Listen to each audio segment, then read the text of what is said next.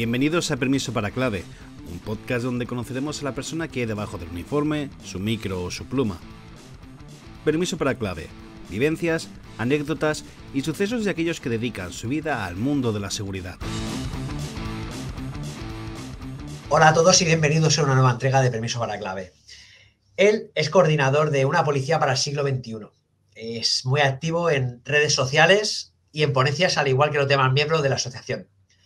Eh, no hay día que no rebata con argumentos y, cifras aquellos que osan menospreciar la labor policial o delincuencial que sacude a nuestro país. Poniendo el foco en la noticia y de la Comisión del Senado en su día, las advertencias que sin querer llegar a ser Nostradamus, Samuel Vázquez tuvo que ver cómo eran respondidas eh, con risas y comentarios jocosos, que hoy eh, muchas de esas advertencias ya han llegado y parece ser que por desgracia para quedarse. Y hoy hablamos en concreto de una de ellas muy preocupante como para dejarla pasar por alto. Eh, con nombre de general romano, vamos a cruzar el Rubicón y a ver qué pasa con las no Zone. Hola, el hispano, Fernando, y bienvenido a Permiso para Clave. Hola, buenas, un placer estar contigo. Bueno, lo primero de todo, eh, cuando usamos tu presencia aquí en Permiso para Clave, han sido bastante los mensajes que lo primero que han hecho es mandarte fuerza y ánimos en tu recuperación y tu pronta vuelta al servicio activo. Muchas gracias, se agradece, la verdad. Bueno, eh, obviamente nos unimos a, ese deseo y que te podamos ver de nuevo pronto por las calles defendiendo, defendiendo el escudo de, nuestra nación. Eh, imaginamos que pocos. ay, ay, ay. Eh, imaginamos que pocos o ninguno de nuestros oyentes y espectadores no saben lo que es una no-go zone. Pero vamos a poner en antecedentes. Eh, Fernando, ¿qué son estas zonas y qué tienen en común todas ellas? Eh, eh, las zonas no-go son conocidas más por nuestros vecinos del norte de los Pirineos. sobre todo las ha, hecho muy famosas y las ha dado a conocer la película Bad North.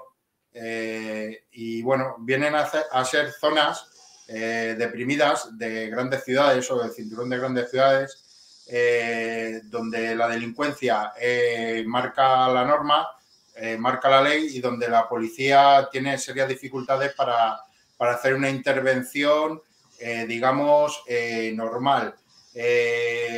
cuando se hace una intervención en una zona no-go, hay que prepararla y hay que entrar con muchos efectivos. No es una intervención que se puede hacer en cualquier barrio, de cualquier zona residencial o de cualquier, vamos a decir, zona eh, normal. ¿De acuerdo? Eh, esa, eh, y tiene varias características, pero supongo que eso será tema que trataremos a posteriori. Bueno, vamos a poner también, después de esta introducción muy acertada, un poquito situación también a, a nuestros amigos. Nos vamos a situar, tú ya que has dicho que vamos a pasar los Pirineos, yo me voy un poquito más para Centro Europa hasta Molenbeek, en Bélgica, de donde de esa triste ciudad han salido la mayoría de terroristas que han atentado a lo largo de, la geografía europea. Por ejemplo, en el mismo París eh, y en su ciudad de dormitorio existen, como tú has comentado, barrios completos en los que la Sharia se aplica a sus anchas. Estocolmo es la primera capital europea en considerarse no-go zone. Hasta la neutral Suiza eh, tampoco es ajena y en Lausanne eh, también tiene el honor de pertenecer a esta, a esta lista que cada vez es más extensa, por desgracia. Y qué decir, por ejemplo, Fernando, de, ciertas zonas de, Londres. Eh, se ha quedado una vieja Europa bonita, ¿no? Como para ir a visitar ciertas zonas. Yo lo, lo digo, igual soy muy pesimista, pero Europa, Europa es el pasado. Europa ahora mismo eh, para mí y sinceramente ojalá cambiemos, aunque lo veo complicado viendo el nivel de, gobernantes, de buenismo, de que tenemos, eh, veo complicado, veo complicado y la guerra de Ucrania, bueno, está dando un pequeño vuelco, pero veo, veo que el eje asiático eh, está sustituyendo a lo que es la vieja Europa, que está quedando decadente por todas estas cosas. Eh, y eso te pueden llamar racista, te pueden llamar xenófobo, te pueden llamar lo que quieran, pero es una evidencia que donde hay barrios de este tipo, donde hay una inmigración masiva e ilegal, donde eh, se han instalado ciertas personas con cierta ideología, es donde están ocurriendo estas cosas. Eh, no hace falta ser catedrático para darse cuenta y sumar dos y dos. Entonces, eh, desde mi punto de vista, y esta mañana o anoche no está muy pendiente, pero sí que me han llegado los ecos de un salto de la valla brutal. Dos mil personas eh, han cuantificado. Brutal. Entonces, si hacemos una comparativa con los refugiados ucranianos, que vienen siendo mujeres, niños y ancianos, ¿de acuerdo? Con las personas que saltan la valla, que son todos varones en edad militar, pues hay que darse cuenta de lo que es un refugiado real por una guerra y lo que es una inmigración masiva e ilegal con, yo ya incluso puedo pensar mal, no sé con qué intenciones esta inmigración de varones con edad militar. ¿De acuerdo? Porque si tú huyes de una guerra, los primeros que huyen, como está demostrando la guerra de Ucrania, eh, son mujeres, ancianos y niños no varones con edad militar. Los varones con edad militar se, quedan a combatir. Y estos no, estos vienen, vienen a, violentamente, saltan la valla, eh, cometiendo un ilícito, porque es un ilícito entrar fraudulentamente a un país y no solamente eh, no les el gobierno no les aplaude, sino que le da toda la facilidad del mundo.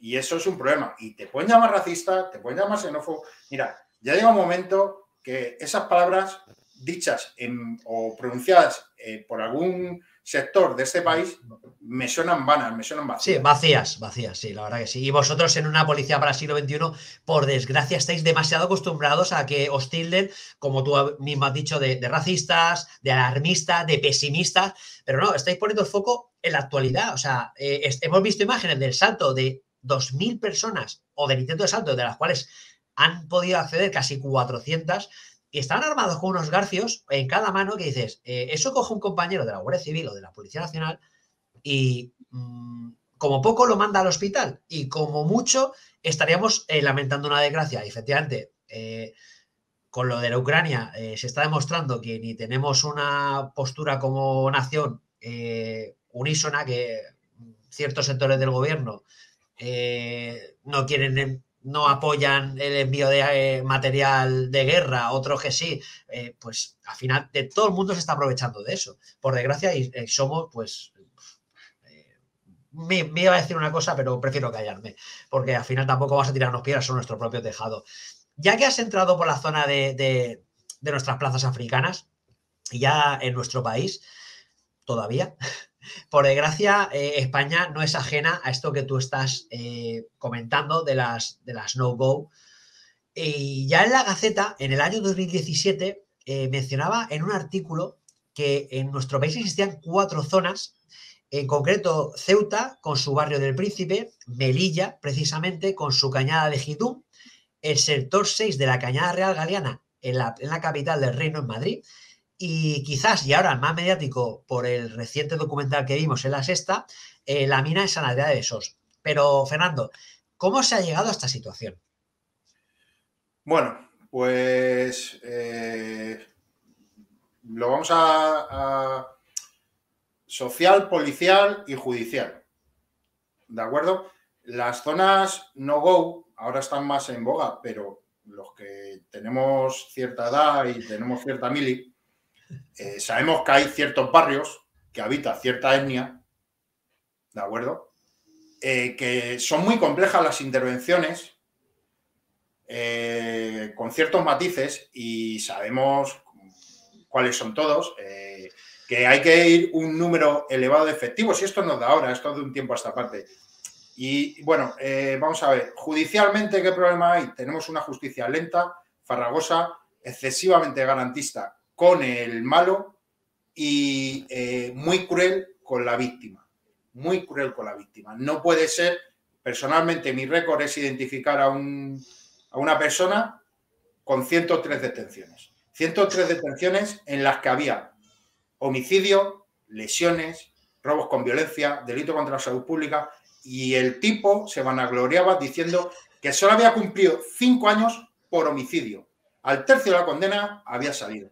Entonces tenemos ese problema, la justicia. Ahora lo estamos viendo eh, con las bandas latinas, eh, que quieren llamar bandas juveniles, pero vamos, yo no veo, yo no veo que eh, sean Anchuelo Don Play, no, veo que son Don Play.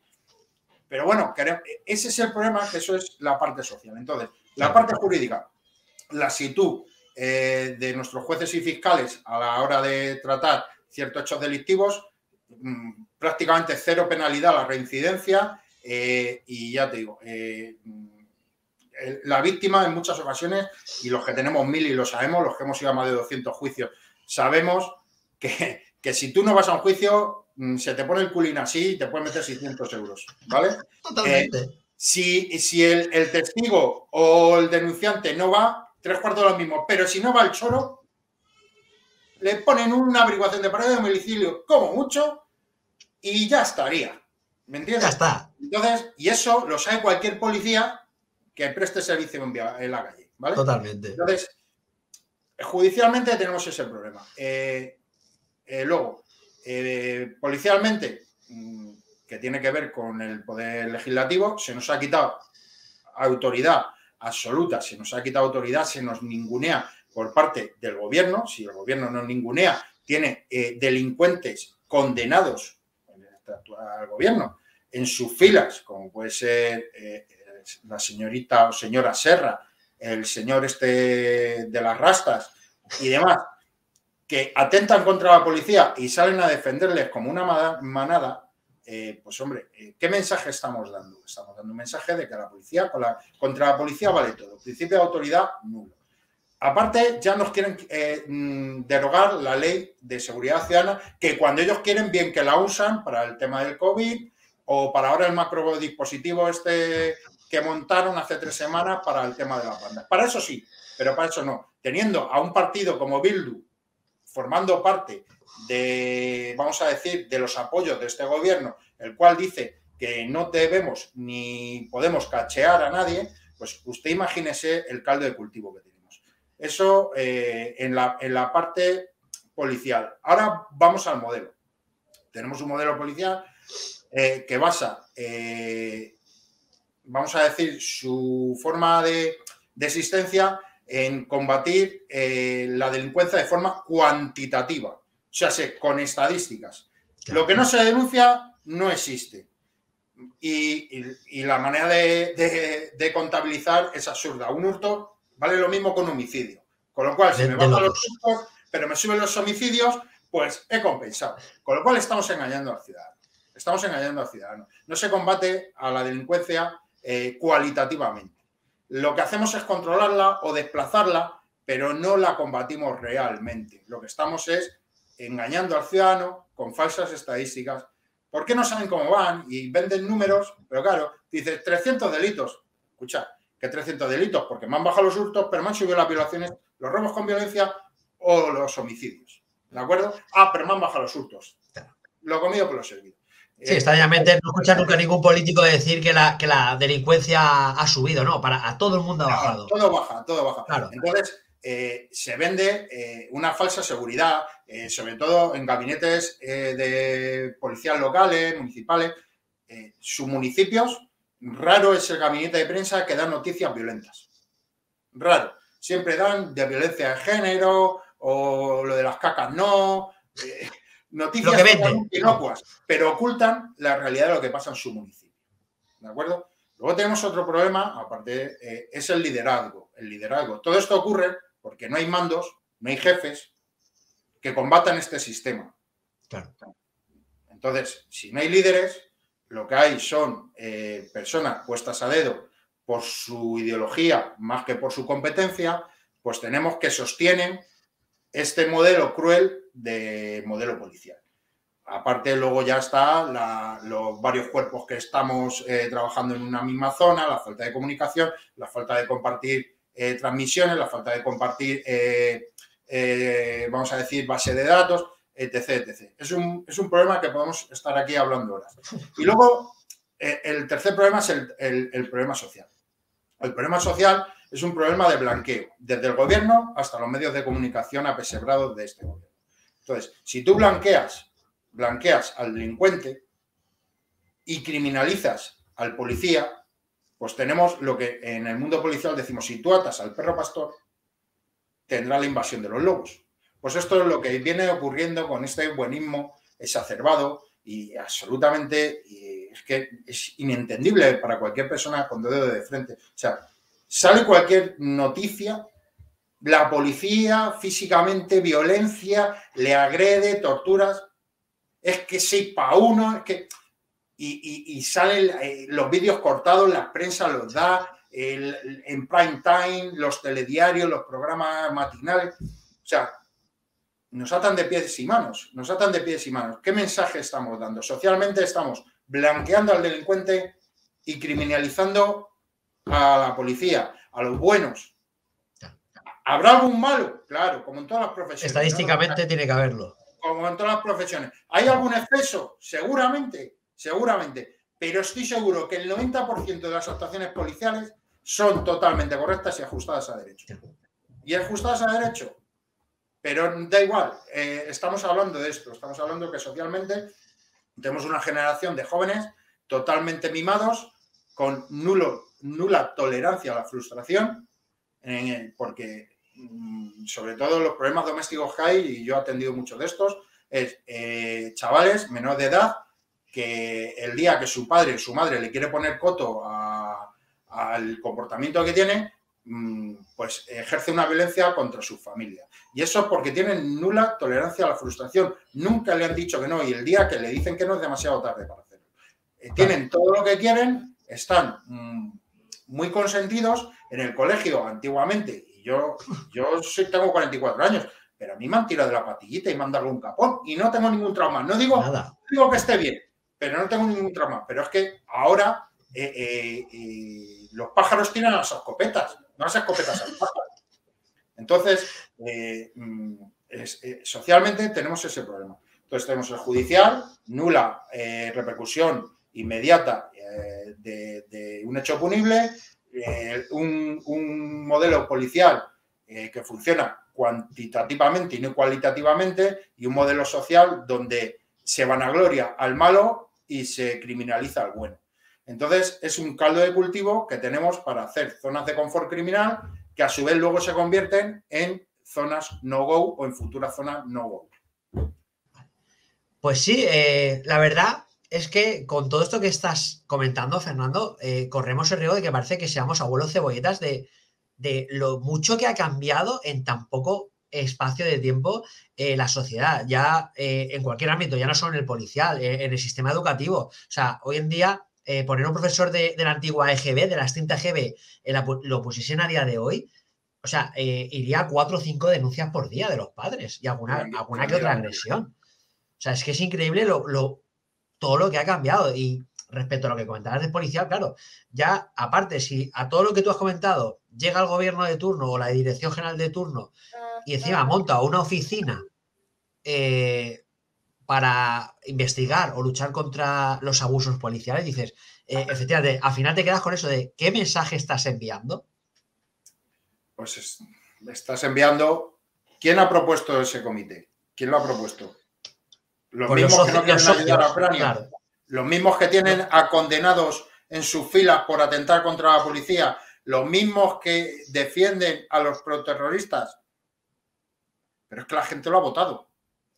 Efectivamente. Es lo que hay. Es lo que hay, hay que, hay que tragarlo como tal.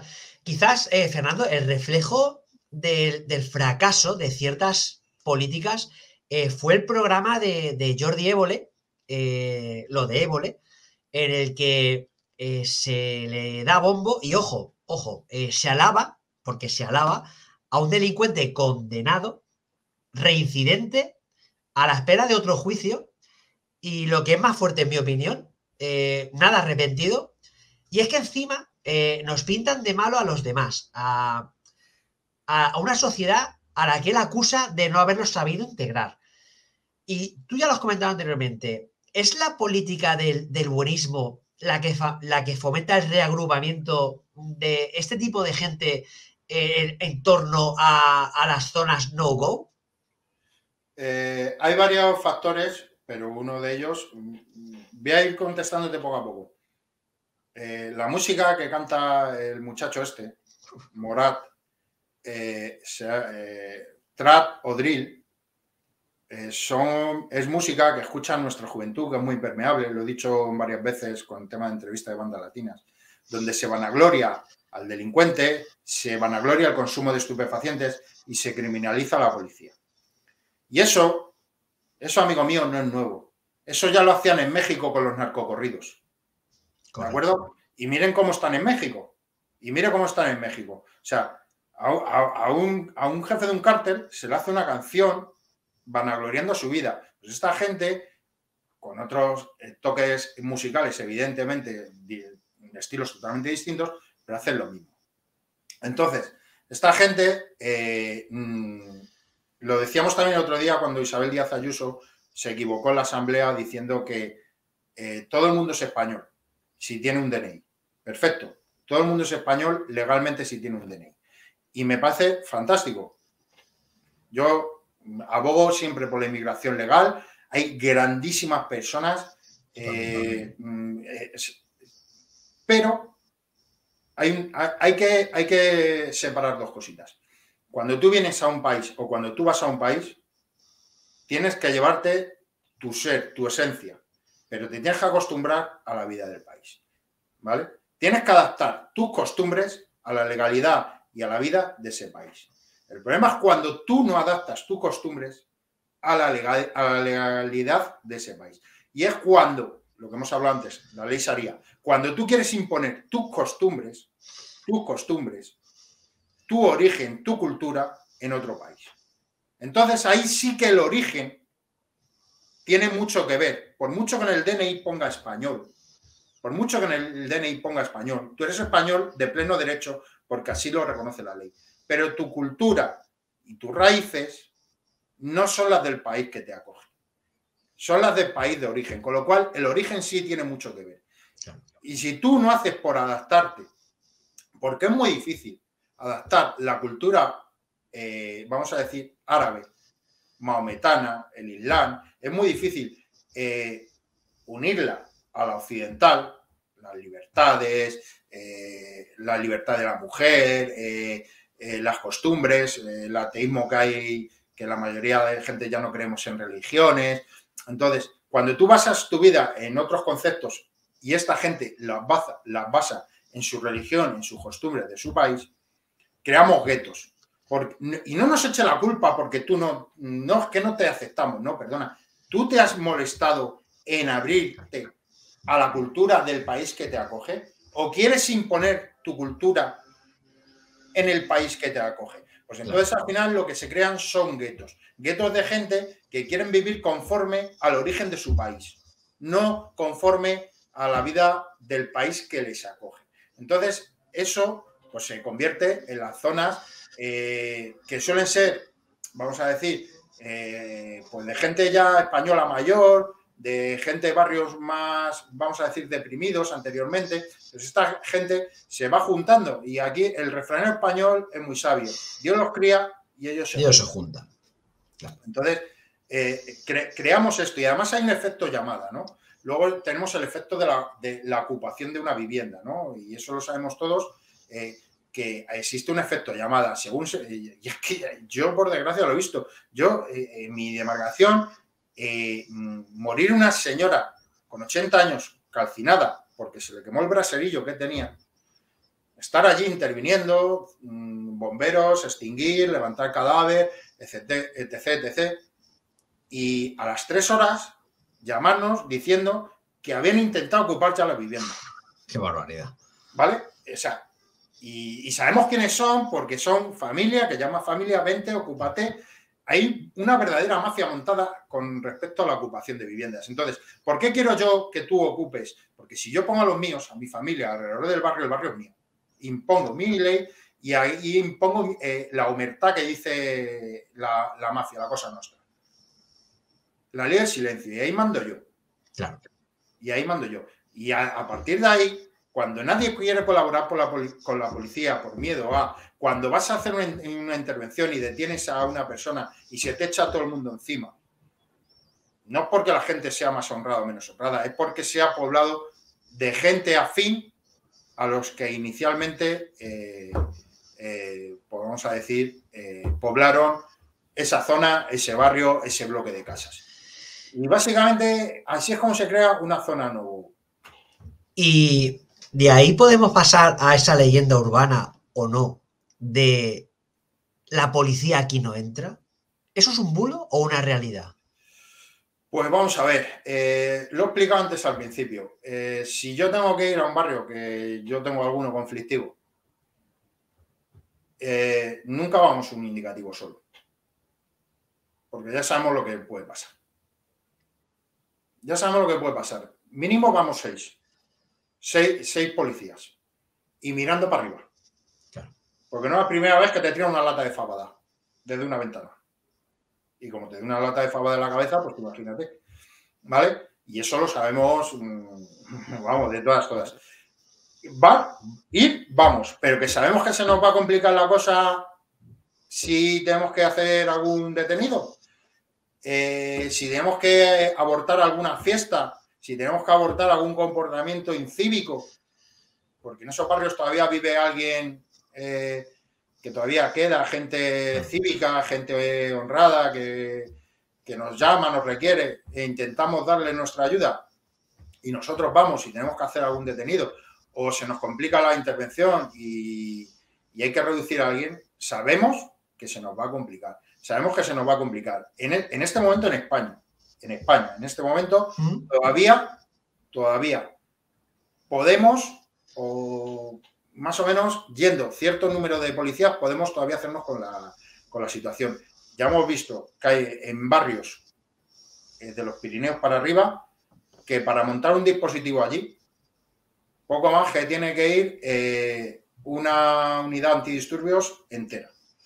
Ya vemos que cuando se monta una operación antidroga en la Cañada Real, y te hablo de Madrid porque es lo que más conozco, porque yo estoy destinado aquí en Madrid, eh, en la Comunidad de Madrid, sabemos que tiene que ir, eh, si la operación es de Guardia Civil, va la USEC y el GRS, si es una operación conjunta, pues va la SUCE de la Policía Municipal, la UIP, la UPR, siempre van unidades de control de masas o denominadas antidisturbios porque un patrullero o dos patrulleros o tres patrulleros no pueden ir. No pueden ir. Pero en, eso, en, esa, en esas zonas, yo tengo la suerte de conocer a, gente muy veterana, muy antigua. Ya antiguamente, Pies Negros, La Celsa, La Rosilla, eh, eh, pues ya eran zonas complicadas eh, donde más de un coche patrulla se ha llevado algún tiro a la remanguillé, decimos. ¿vale? Y que no vamos, eh, pues sinceramente, eh, cada vez vamos a ir menos porque si yo voy para allá y mi actuación está respaldada jurídicamente, socialmente y legislativamente, me da igual, me pego con quien sea, contra viento y marea. Pero es que además voy yo y el que tiene problemas soy yo, soy yo. Y cada vez es más complicado ir a ciertos barrios. Cada vez es más complicado y lo siento por la gente de bien. Lo siento pues por la gente de bien. La gente de bien es la que paga esto. Pero es que nosotros estamos atados de pies y manos. Te, no te dan los medios eh, no letales para poder eh, progresar. Eh, a, los unidades de orden público les quieren quitar las pelotas de goma. Les quieren, en fin, o sea, si tú no puedes trabajar, ¿por qué trabajas? O sea, es que es muy sencillo. Porque yo tengo que volver todos los días a mi casa con mi familia, porque yo tengo familia. y todos tenemos familia. Entonces, ¿me compensa a mí entrar a una zona no-go para que me peguen un tiro, me tiren una lata de fabada, eh, mm, me apalen como caiga al suelo, para que luego a los autores le metan un año de prisión? A los 7, 8 años que salga al juicio. Y eso, si le consiguen eh, le detiene, le ponen en libertad y el que es de España, pues no le queda otro remedio nada más que quedarse en España. marcha para evadir la acción de la justicia. Claro. Y luego busca de tú. La verdad que sí. Entonces, no sé si te he contestado a esto un poco, sí, un poco ambiguo, pero. Sí, no, no, no, no. Ha, quedado eh, perfectamente claro, la verdad. Eh, Fernando, pero exceptuando el terrorismo yihadista por evidente, eh, ¿qué peligro entrañan este tipo de barriadas para el entorno de una ciudad o de un país?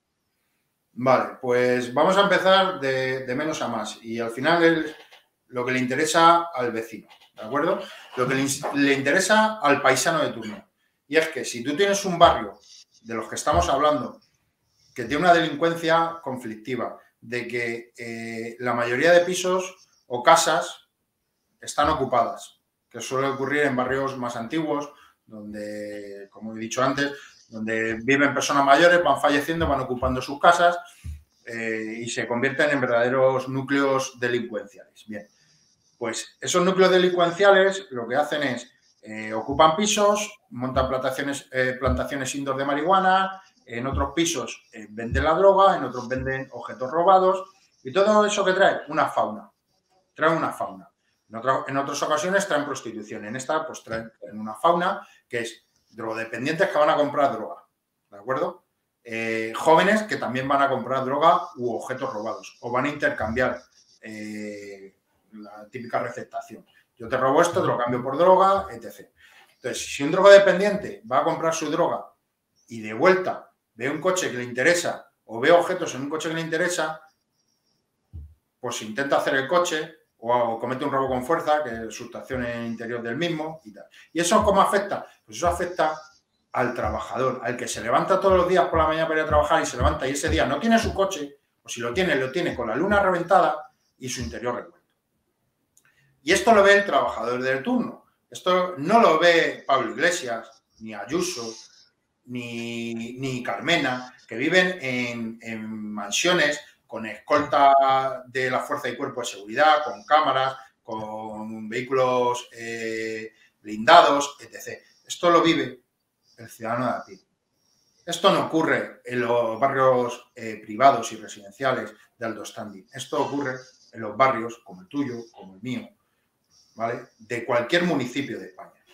De cualquier municipio de España. Entonces, ¿qué trae un barrio de estos? Delincuencia. ¿La delincuencia se concentra eh, en un núcleo? Sí, pero alrededor de ese núcleo trae círculos de delincuencia. Gente, satélites que orbitan alrededor de varios tipos delictivos. ¿De acuerdo? Robos con fuerza, eh, tráfico de drogas, prostitución en otros casos, eh, etc, etc. Entonces, eso a nivel local.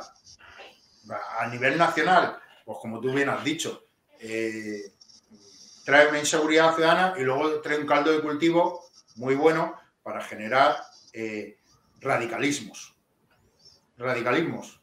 Porque al final, eh, si el barrio es de una tendencia o de una religión islámica, hay una retroalimentación contra el mundo occidental, ellos mismos se radicalizan, las redes sociales, eh, las páginas de Al Qaeda, las páginas de ISIS, pues al final eh, ellos se ven como víctimas y es más, los occidentales les hacemos ver eh, como víctimas. Oye, tú tienes derecho a esto, tienes derecho a lo otro, tienes derecho a que... Pero nadie le dice cuáles son sus obligaciones.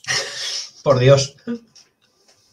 Solo les decimos los derechos. Entonces, lo que estamos generando es caldo de cultivo delincuencial común e incluso podemos hablar de, como es el caso de Molenbeek, de, que es la cuna de los terroristas europeos.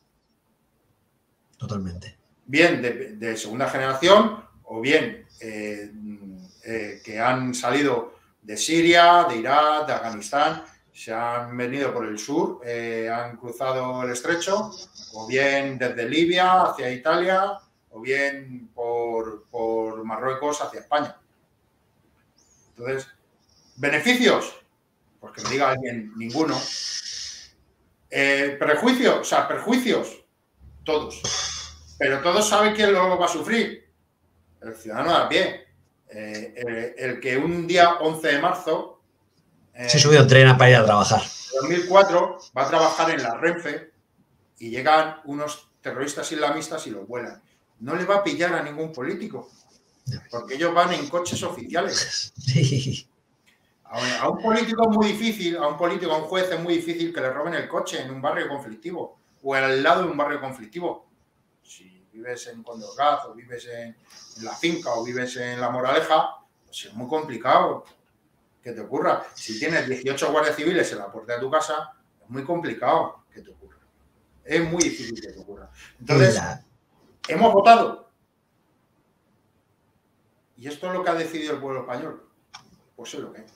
No, no, está claro. Y tal y como comentas, la balanza, la verdad es que no parece muy equilibrada. Pero bueno, efectivamente, eh, como se suele decir en estos casos, ¿no, Fernando? Disfrutar lo votado. No, que, no queda otra.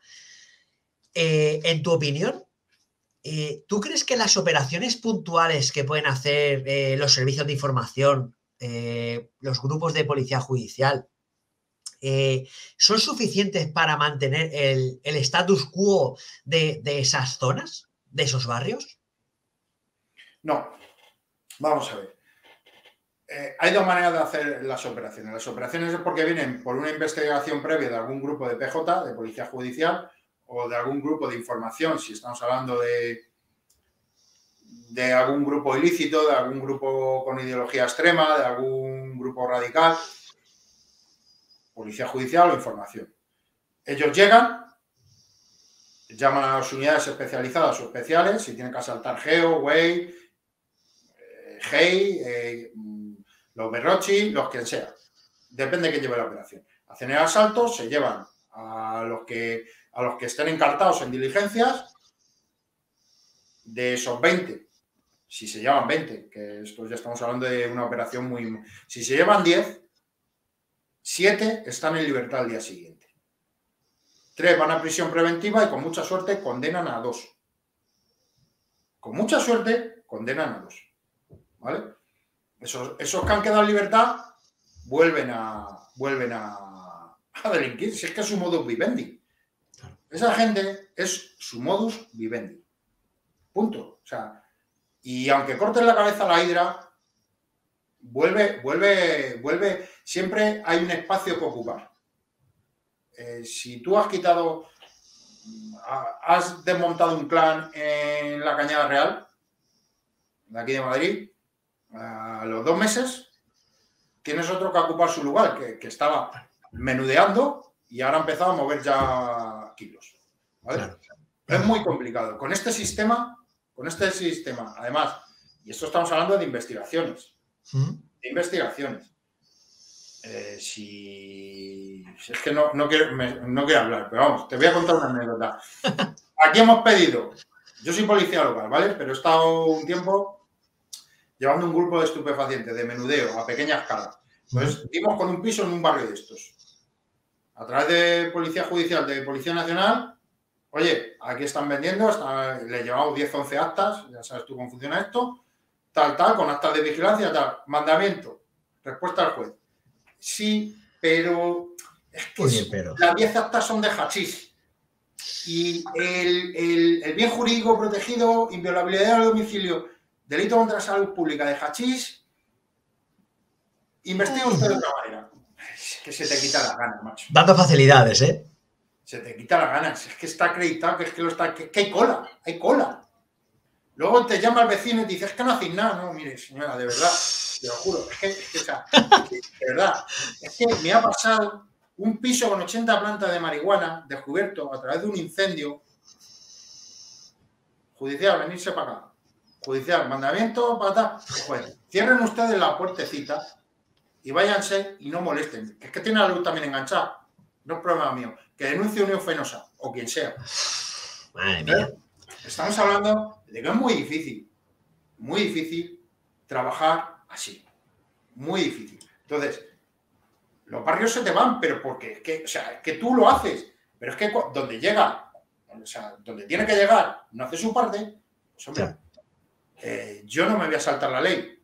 no voy a entrar a una casa sin mandamiento judicial. No, no, está claro, está claro. Y sin que haya un delito flagrante. Y como el tráfico de drogas ya hay muchas sentencias del Tribunal Supremo diciendo que no es flagrante, pues que sigan traficando. Está claro. No, la verdad es que parece ser que mm, la efectividad de, nuestro grupo de, información, de judicial, tiene que ser altamente efectiva eh, cuando nos adelantamos eh, tanto con la detención de, supuestos eh, yihadistas, condenados o no, pero mm, la realidad se traduce en que, por suerte en España, no hay atentados. y solo hay que ver cómo está Francia, cómo está Bélgica, cómo está Inglaterra, eh, que el terrorismo yihadista, eh, ya sea con atentados con artefactos explosivos o sobre todo con armas blancas o de fuego, eh, es algo ya hasta habitual, por desgracia. El, tema, ahí tengo que decir que el gobierno estuvo mal cuando modificó la ley para poder perseguir este tipo delictivo, que es la radicalización y todas estas cosas, creo, y esto no me lo puedo poner en duda nadie, creo que nuestros servicios de información son de los mejores. Totalmente. Pero, pero absolutamente de los mejores. O sea, y eso, eh, que venga aquí, no, la CIA, no el FBI, me río.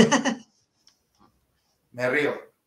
Porque nosotros, por desgracia, y aquí, igual que para un sitio hay que dar algún palo de vez en cuando, yo soy muy fan del Servicio de Información de la Guardia Civil por todo los bagaje que lleva 70, eh, 80 y 90 en el, Totalmente. Entonces, yo, soy muy fan de los servicios de información españoles. O sea, hacen un trabajo que la gente no tiene ni idea del trabajo que se hace. La verdad que sí. El problema de esto es que nosotros todavía no hemos llegado a Francia, no hemos llegado a Dinamarca, no hemos llegado a Noruega, no hemos llegado a Londres. ¿Vale? Eh, cuando lleguemos a ese nivel, eh, nosotros somos muy buenos. Desde el patrullero hasta el último agente de información. Y está feo, pero somos muy buenos policías. Lo que pasa es que no estamos respaldados. Demasiado hacemos para el poco respaldo. Pero llegará un momento que se nos vuelva a escapar algo. Claro. Se nos va a escapar un 11M, se nos va a escapar un 17 de agosto en Barcelona. Concatenación de errores, eh, falta de información conjunta, llámalo X, ellos lo han hecho mejor que nosotros. ¿vale? Pero es que estamos a expensas de, nos quedan 10 años, 15 a más tardar, para ser Francia. Y está claro que el 100% de efectividad no se puede tener por desgracia. Y está claro que con que solo cuele uno eh, ya va a hacer eh, un daño excesivo, la verdad. pues Fernando, hay una persona eh, ya te hemos dicho en la introducción de que tu presencia hoy aquí en Previso para Clave había generado mucha expectación y sobre todo había una persona que no ha querido dejar la oportunidad de, estar aquí hoy contigo. Y la verdad es que la pregunta la teníamos hecha eh, ya en nuestro guion y tú lo sabes, pero él te la ha querido hacer personalmente. Buena, ¿qué pasa, señor? Espero no que me pillas trabajando, si no hubiera preparado algo más más preparadito. ¿Qué, te iba a preguntar? Bueno, te iba a hacer una pregunta que yo creo que la habréis respondido ya y pienso exactamente, o sea, me sé perfectamente tu respuesta, porque es la misma que la mía, pero bueno, quizás a muchos les, pueda interesar. Muy simple. Eh, ¿Cuánto crees, cuánto crees o cuánto calculamos que puede tardar en que esta famosa zona no-go no-go, como cojones se pronuncie, eh, las vamos a tener realmente instauradas aquí? al paso que vamos y con el gobierno, la administración que tenemos. Porque está claro que con otro tipo de gobierno, con otro tipo de, vamos a decirlo así, mano dura y mm, dejarnos trabajar, eso no, pasaría, pero al camino, el camino que tenemos es el de el de Marsella, Molenbeek y demás. Y después de eso, pues nada, Rey, que espero que esté mejor, que te recupere, que ya sé que bueno, ya tienes una edad, tienes que entenderlo, que ya no te recupera a veces igual, así que hasta la idea y, cuando estés mejor recuperado ya quedaremos para tomar otras cervecitas. Un abrazo, tío. Que el gran César, César Alvarado no ha querido dejar la oportunidad de, estar aquí hoy contigo, Fernando, y obviamente eh, aquí está su casa y le teníamos que dar, dar su altavoz para que te saludase y te hiciese la pregunta, obviamente. Qué grande, qué grande César, pero grande como persona. Luego Totalmente de, acuerdo. Se ha devuelto por lo de viejo. Claro, como tiene 32 o 33 añitos, ¿sabes? Pues, pues, pues ahora se la, se la, ha devuelto. Es grande César, grande César. Pues César, eh, y a todas las personas que nos ven y nos escuchan, pues al ritmo que vamos, y si no da un vuelco este país, eh, contando con los conflictos que está habiendo con bandas latinas, con lo que está pasando con el Moraz este, que le están dando un altavoz muy mediático, ya en su propio barrio eh, hay muchas dificultades. Hace tres o cuatro días policía local y guardia civil en Fraga, Fraga, que es un municipio que no es Madrid, que ya han visto lo que ocurrió, eh, seis o siete detenidos, varios guardias heridos, eh, y todos son chavales jóvenes, españoles, extranjeros, da igual. Eh, esto, se, va deteriorando tal que, que, si esto no pega un giro radical, está muy difícil cambiar, porque hay que cambiar muchas cosas, es muy difícil cambiar el modelo legislativo, es muy difícil cambiar el modelo policial, y, el legislativo ya ni hablamos. Yo creo que ya hay zonas bastante conflictivas y se van a incrementar de aquí a tres añitos, cuatro añitos, cinco añitos, empezamos ya a tener eh, ciertos problemas. Como nos modifiquen la ley de seguridad ciudadana, como sigan el gobierno estas políticas eco-friendly, eh, pintando los banquitos, poniendo los semáforos con, distintos iconos, y, dando, mm, atando al perro pastor y soltando al lobo, pues entonces el borrego, utilizando símiles pastoriles, que aprenda a votar. Y si no, pues tendremos lo que tenemos. Vamos a ver, si tú atas al perro pastor, el lobo se come la oveja. Totalmente. Es así de simple. Y en estos momentos, la cosa va en ese sentido. Yo no soy muy halagüeño. Desgraciadamente, mira que soy positivo, intento ser positivo en todo, pero viendo cómo está transcurriendo todo, pues mm, por desgracia, no. O hay un cambio, hay un cambio bastante importante en las políticas de este país, pero ya no de este país, de Europa. Insisto, Europa está caduca, está marchita, se está viendo. ¿De acuerdo? sintiéndolo mucho, estamos en el borde de no llegar a ser Francia. Y por desgracia tenéis la mala costumbre de, acertar en casi todos vuestros pronósticos. O sea, que eso lo hace todavía eh, más, más preocupante. Eh, aprovechando la visita que nos ha hecho virtual César Alvarado y devolviéndosela otra vez, eh, los que peinamos canas o ya llevamos unos, unos cuantos trienios en las nóminas, ahora pues hace gracia escuchar aquello y te tiene que sonar de que te decían, es que esto la ley gitana, ¿eh, Fernando? Pero esa sonrisa que te estás teniendo ahora se, se torna en mala hostia eh, cuando te dicen que, que las eh, rigen esas zonas. ¿Qué piensas cuando oyes esto? Eh, me da miedo. Me da miedo. Me da miedo. Me da miedo porque, eh, joder, es que no quiero ser pesimista. Ya lo dijo el presidente de la asociación en 2018. Yo no, yo no soy un catedrático de nada, ¿vale? Hace tres semanas me entrevistaban para 7NN y dije, en tres semanas hay machetazos otra vez. Este macro dispositivo que ha montado Delegación de Gobierno de Madrid es pan para hoy, hambre para mañana. Alcorcón, tres heridos, uno muy grave. Policía Municipal detiene a 10 o 11 chavales que habían concertado DDP y trinitarios para pegarse en Ciudad Lineal, a machetazos, a palazos y tal. Tres semanas después, no se adivino. Samuel no es adivino, es un estudioso. Claro, es la diferencia. ¿Vale? Es un estudioso. Vamos estudiando las evoluciones y vamos aplicando el sentido común y la experiencia operativa. Entonces, me da miedo, me da miedo. Me da miedo, me da miedo por nuestras mujeres, por nuestros niños, por nuestras niñas. Porque aquí se habla mucho del ecofriendly y del feminismo. Pero es que la Sharia es todo lo contrario al feminismo y es por mucho que nos vendan que llevar un burka es guay, que, hay campañas de eso. no, no, no, yo lo llevo porque quiero. De moda, hay campañas de moda y vídeos muy de la película a quien tú quieras.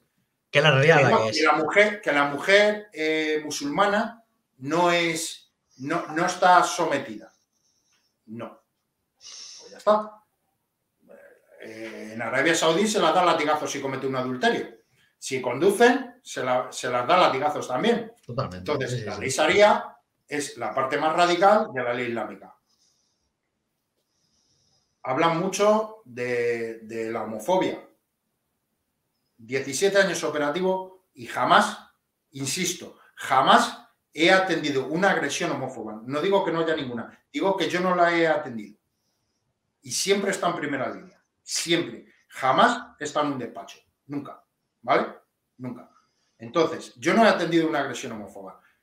Con, estas zonas, a ver quién es el guapo que va con una bandera LGTBI allí. Yo he visto vídeos en Londres hacerlo y la que le ha caído ha sido pocas. La gente que defiende este tipo de, culturas son los que defienden también eh, el feminismo y a los colectivos LGTBI. Yo, vamos, Aquí todo el mundo tiene que tener el mismo derecho, da igual a quién ames, con quién te acuestes. No, no, es totalmente. Y qué sexo tengas. Me da igual.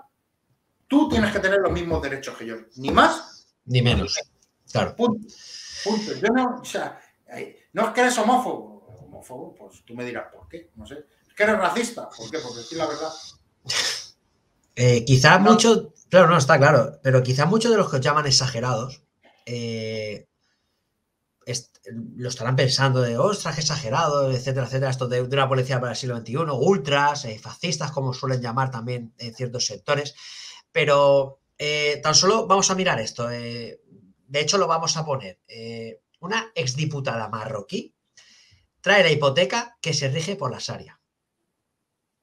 Ojo, pero esto ha venido para quedarse.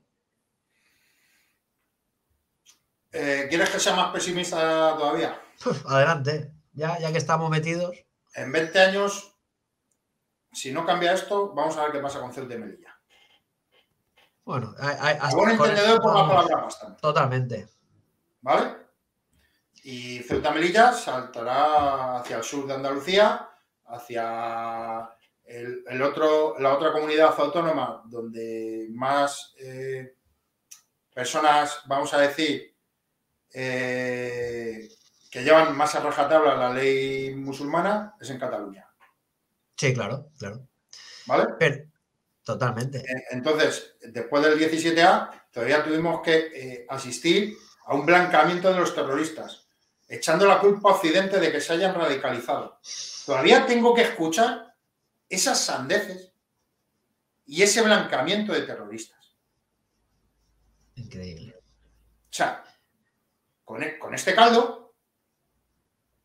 pues tú imagínate eh, lo que se está preparando, cómo burbujea. Pero, pero ¿por qué ese miedo a hablar o hacerlo con tecnicismo, eh, con titubeos, incluso con balbuceos, a la hora de hablar la clase política de este tema? ¿Por qué? Por el buenismo, porque ahora es todo fascista. Ya a nosotros ya eh, han pasado a llamarnos fascistas, nos llaman nazis. Ahora ya ya nazis. O sea, ya fascista es una palabra vacía, ahora eres nazi.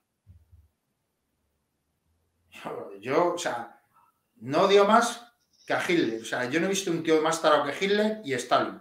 Y casualmente uno era comunista y otro era nazi. Los extremos que se tocan. Los dos extremos. O sea, a mí, o sea, Hitler era un, un auténtico psicópata, al igual que Stalin. La ideología del nazi es una ideología totalmente psicópata. Igual que el comunismo, igual que Stalin. Es que, vamos a ver, o sea, pero te llaman nazi, porque ya fascista... claro, ese recurso fácil. O sea, cuando, cuando eh, nazi, fascista... Eh, sí, pero al final es, queda vacío, como tú has dicho. Es que de, tanto repetirlo, de, de, ser recurso fácil, queda vacío. Es que al final queda vacío, pero hay gente que ya hemos perdido el miedo de tanto que te han llamado, has perdido el miedo. Pero el político, el político, siempre está con tecnicismos y está mareando la perdiz. Primero, porque son políticos y no le dicen la verdad ni al médico. Entonces, eh, ese es el problema. Y porque eh, los medios de comunicación regados con dinero público, eh, si tú te sales del rebaño, rápidamente te golpean para que vuelvas al rebaño. ¿Y cómo te golpean? Descargando contra ti todos los recursos mediáticos, señalándote, ¿vale? Y tus jefes, además, te van a expedientar, como le ha pasado a César, como le ha pasado, Te van a expedientar porque te has salido del discurso de lo políticamente correcto. Pues sí, de lo políticamente correcto. Esa, esa es la pena. O sea, en este país, en cuanto te sales de lo políticamente correcto, estás fastidiado. Estás muy fastidiado. Y van a descargar contra ti todos los elementos que tengan para destruirte. En cuanto tengas cierta relevancia, nosotros en la asociación lo tenemos claro. En cuanto nuestro discurso cuaje, nos van a zumbar. Se inventarán algo, eh, te expedientarán, eh, cualquier cosa. O sea, yo ya me creo cualquier conspiración, de verdad, por desgracia, a día de hoy me la creo. Pues sí, sí que es una desgracia. Pues eh, para terminar con nuestro, nuestro hispano, con nuestro máximo décimo meridio, eh, pues queremos que nos hagas eh, una última reflexión, eh, sobre todo si hay una posible solución, está todo perdido, mm, pero sobre todo mm, para aquellos mm, que estén descubriendo este tema y que se les haya podido quedar un mal cuerpo o hablándole de este tema o descubriéndoselo, eh, ¿qué última reflexión le- les mandas a ellos? Eh, que aprendan a votar, es duro. es lo que hay. Es lo que hay. Porque si bien es cierto, hay una tendencia que la gente está empezando a ver las orejas al lobo. Hace tres años eh, nosotros éramos, estamos locos. Hoy en día ya mm, la gente empieza, empieza a ver las orejas al lobo. Y empieza, y vas viéndolo en, en cuestiones electorales. Vas viendo cómo baja un partido y sube otro. Baja un partido y sube otro. Pues se van viendo lo que te iba comentando, se van viendo las tendencias eh, en, en las elecciones que está habiendo a todos los niveles. Y se va Sí. viendo como, como un partido cae y mantiene un electorado por, el- por debajo de sus inicios, porque la gente se ha dado cuenta de- del percal y la gente se está dando cuenta del problema, del problema. Lo que pasa es que ahora hay una pendelación de fuerzas y hay muchos pactos y con la ley de Joven esta que tenemos, pues es muy complicado que el más votado gobierne. Claro. No es lo mismo el voto de uno de, de Bochullos del Condado que de uno de Barcelona o que uno de Madrid. No vale lo mismo. No vale lo mismo. Entonces, bueno, pues pasa un poco, un poco eso. Entonces, visto, visto esta tendencia, me queda una esperanza de que haya eh,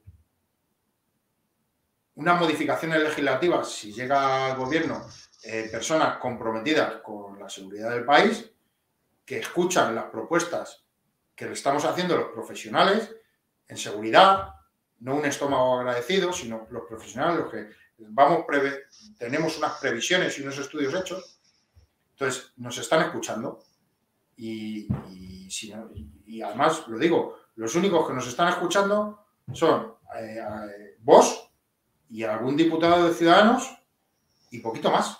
Los dos grandes bloques, PSOE-PP, no, nos ignoran, Podemos nos denigra y nos escucha vos y algún diputado de Ciudadanos.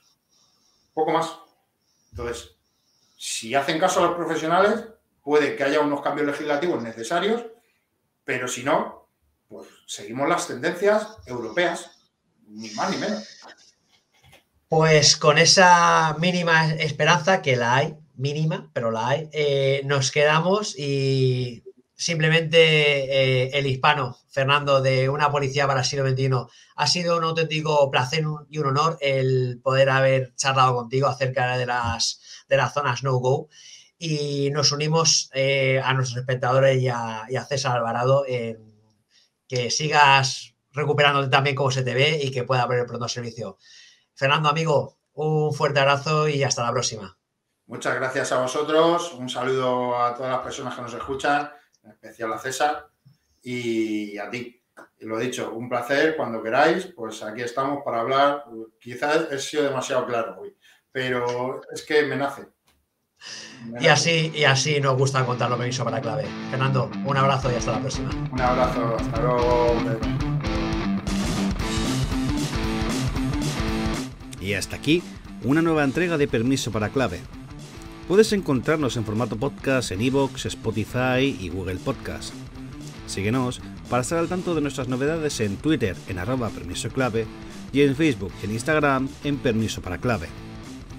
Si quieres participar y comentar más activamente, la comunidad de Telegram de Permiso para Clave es tu sitio, así que ya sabes, únete. Y recuerda, el próximo viernes volvemos con más contenido de estreno en nuestro canal de YouTube, así que ya sabéis, darle a like y suscribirse que nos ayudáis un montón, y en Twitch para directos intersemanales. Y como siempre decimos, buen servicio a todos y cuidado ahí fuera.